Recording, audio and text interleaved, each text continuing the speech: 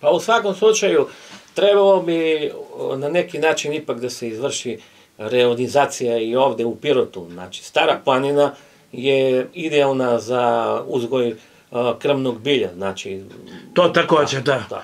Pošto gore lekovito bilje, krmno bilje, krmno bilje da, tako, tako dalje.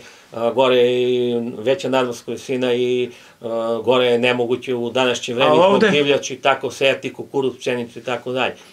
I ovde, znači, takođe, što se tiče stočarske proizvodnje, razno krmno bilje bi bilo idealno, počev od... Jel može stočarstvo da uspeva u kotline?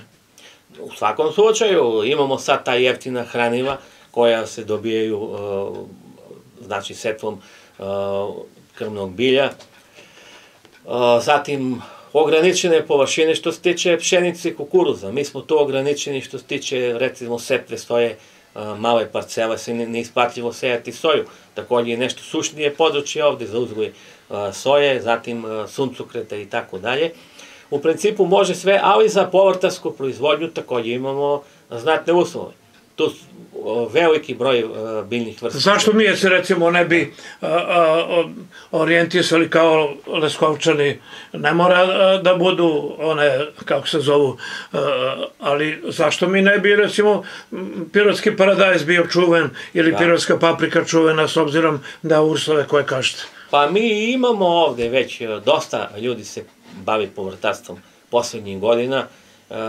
Povrtarstvo je i najviše napredovalo ovde Imamo preko 70 već e, poljoprivrednika u plasteničkoj proizvodnji. E to, zašto ne? Da, prosto, da. Da, ide, ide se na to, povrtarska proizvodnja i do neko... Ja, savjetujete vi to? Da, u svakom slučaju i, i onda povrtarstvo je ovde uspešno, uh, znači možda malo nešto kasnije u odnosu na Stajkovci i Leskovac, ali znači je napredovalo dosta povrtarska proizvodnja. Pogotovo ti novi, sada lakši načini proizvodnje, sistemi kap po kapi.